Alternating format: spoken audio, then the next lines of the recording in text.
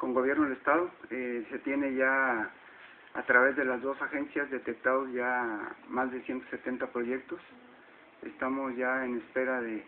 de hacer eh, una feria con proveedores en, en, el, en el cuarto distrito en coordinación con el Estado. Probablemente en los próximos 15 días estaremos ya este, invitando para unos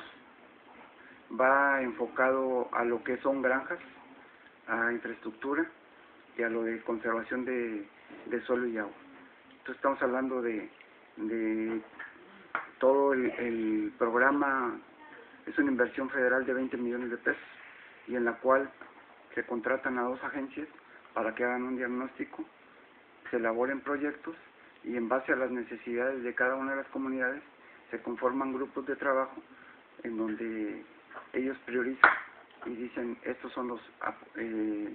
requerimientos o proyectos estratégicos que requerimos para está uno de cerdos en, en Tula en Miquihuana está otro de,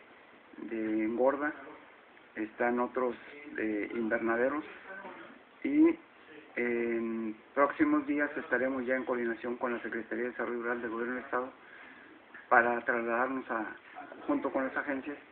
para tener un ya directamente con los grupos para que una vez que ellos ya eh, seleccionen a, a, las empresas con las cuales van a trabajar o proveedores, se les estaría liberando recursos. Retomando el tema de la feria que haces mención anteriormente, eh, tentativamente no tienen la fecha y qué municipio se llevará a cabo del altiplano tamaulipeco? Probablemente estemos hablando entre los 15 y 20 días siguientes y estamos hablando en Jamuaga o en Tula. Ahora que, se,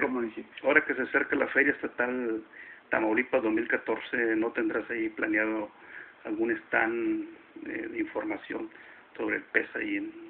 la feria? Si nos hacen la invitación por parte de los organizadores para que instalemos en forma coordinada con el Estado, claro que lo haremos. Eh, ¿Algún mensaje a los productores del altiplano tamaulipeco? Pues que se está atendiendo con este proyecto estratégico de seguridad alimentaria y que las buenas noticias es que para el próximo año continúa el programa con la visita que tuvimos tanto el coordinador operativo de, gobierno del Estado y un servidor a, a México, a las oficinas centrales de Zagarpa,